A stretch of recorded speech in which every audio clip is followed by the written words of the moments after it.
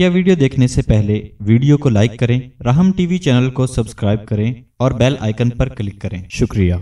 अस्सलाम वालेकुम हज़रत, मैं जमील हसन यहाँ पे खानका में आपकी खिदमत में हाज़िर हूँ।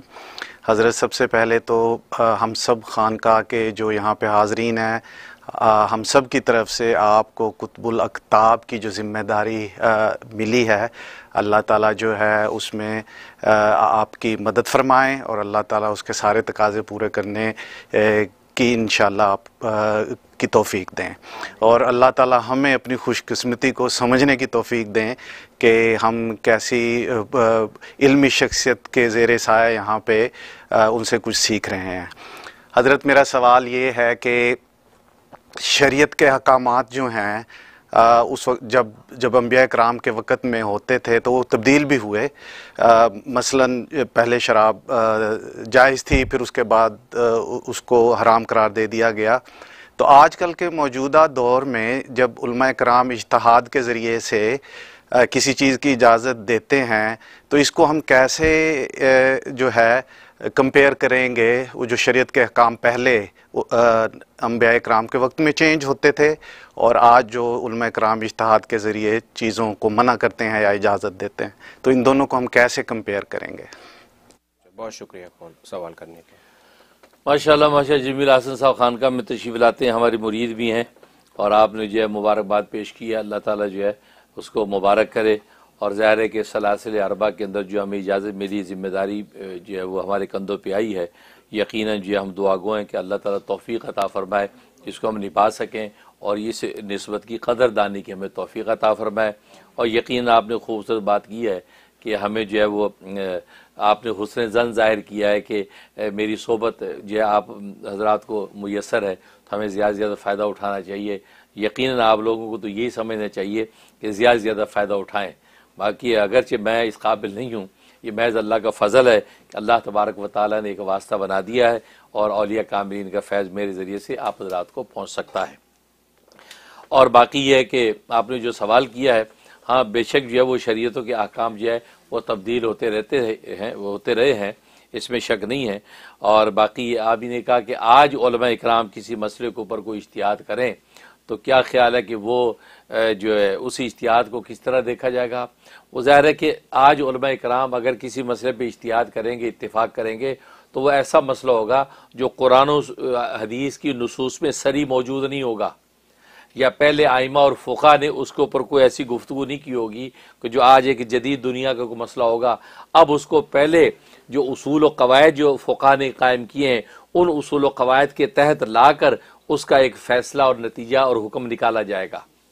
फिर उस पर कराम मुतफ़िक होकर कहेंगे हाँ ठीक है, इसके हवाले से अब ये हुक्म है। वैसे जैसे डिजिटल, अब ये डिजिटल जो तस्वीर है, डिजिटल कैमरे जो आजकल आ गए हैं, अब इसके हवाले से ज़ाहिर है कि ये डिजिटल का तस्वुर पहले नहीं था। पहले तो कैमरे का और तस्वुर था, हाथ की मुसवरी थी, या ये कैमरा जो प्रिंटेड तस्वीरें जो आपकी जो है रील के ऊपर बाकायदा आ जाती हैं। लेकिन आज जो डिजिटल तस्वीर है इसके अंदर तो कोई नेगेटिव भी नहीं आता। वो जो रील होता रील के ऊपर कोई फ़ोटो नहीं आता। वरना पहले जो है, वो कैमरे जो होते तो उसमें नेगेटिव होता, एक पॉजिटिव आ गई तो एक नेगेटिव होता था खोलते उस पर फ़ोटो होता था। लेकिन इनके ऊपर तो कुछ भी नहीं होता। सिर्फ़ न लकीरी होती या डॉट डॉट डॉट होते हैं। तो इसके बारे में तभी ने फिर इसके ऊपर इश्तियात किया असर ने इस पर तहकीक़ात की और फिर साबित किया कि ये जो तस्वीर, जो डिजिटल कैमरों की आती हैं, ये तस्वीर के हुक्म में नहीं है। वो तस्वीर जो ममनू और हराम है, उसके हुक्म में नहीं है। लिहाजा मुफीद मकासद के लिए ये डिजिटल तस्वीर या डिजिटल जो है वो वीडियोज़, कैमरे, इसको मुफीद मकासद के लिए इस्तेमाल किया जा सकता है। ठीक है ना? हाँ ज़ाहिर गैर मुफीद मकासद के लिए तो किसी सूरत में उसकी इजाज़त नहीं, लेकिन मुफीद मकासद उसके लिए वो दीनी हो या दुनियावी हो, तालीमी हो इसलाई हो, उनके लिए आप उसका इस्तेमाल कर सकते हैं। लिहाजा उसी बेस पे आपने देखा, ये टेलीविज़न या ये इसी तरीके सोशल मीडिया, ये डिजिटल तस्वीरों को जो असर ने महक्की ने उसको इजाज़त दे दी और ये सिलसिला चल पड़ा। तो ये होता है। तो ऐसी कोई चीज़ अगर आ गई, जैसे इसी तरह लाउड स्पीकर दुनिया के अंदर आया। अब ज़ाहिर है कि ये एक नई चीज़ है। अब उसको पहले उसूल और कवायद के तहत ला कर उसका हुक्म निकाला। एक तहकीक के बाद उसकी इजाज़त दे दी। जब तक इजाज़त नहीं दी, उस वक्त तक तहकीक होती रही। और करा तहकीक मुकम्मल हुई, उसकी वह इजाज़त दे दी। तो बहुत से लोग ये फपतियाँ उड़ा देते हैं। और जी, मौलवी लोग पहले कहते हैं लाउड स्पीकर हराम है हराम है, अब हलाल कर दिया। ये बात नहीं, वो हराम कभी नहीं कहा। हाँ हलाल नहीं कहा। इसलिए नहीं कहा कि जब तक तहकीक मुकम्मल नहीं होती, उस वक्त तक कोई हुक्म नहीं लगाया उलमा ने।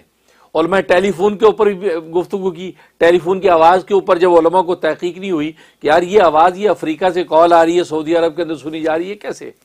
उनको एक दफ़ा अचंबा लगा। है? उस वक्त तो कोई हुक्म नहीं दिया कहा कि नहीं भाई ये समझ नहीं आई क्या चीज़ है।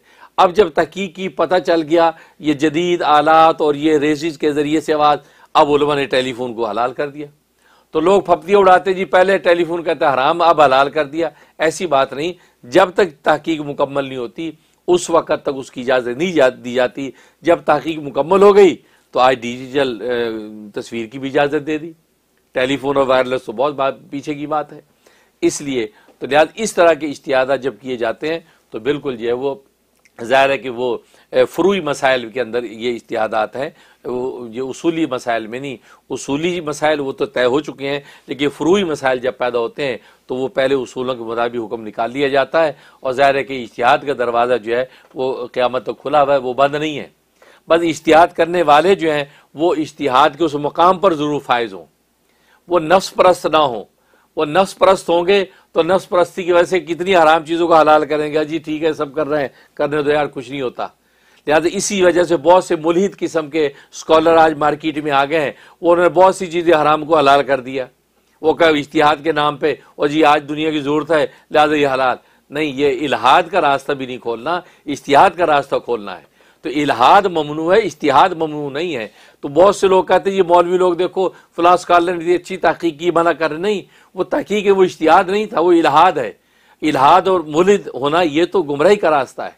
इलाहाद हाँ इश्तिहाद हो तो इश्तिहाद को ने माना है। जैसे खुद ने आज तक इश्तिहाद किए हैं, आपके सामने सब चीज़ें मौजूद हैं। इसकी इजाज़त है, उसमें कोई मजाका नहीं है। बहुत शुक्रिया वजात करने